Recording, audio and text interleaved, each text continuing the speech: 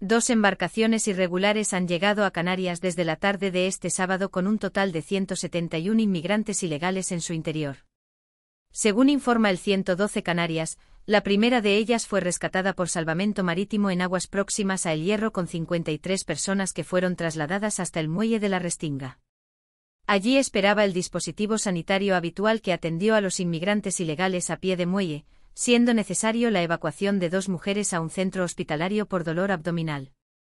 En cuanto a la segunda embarcación irregular, Cruz Roja ha señalado que llegó al muelle de los cristianos de Tenerife con unos 108 inmigrantes ilegales.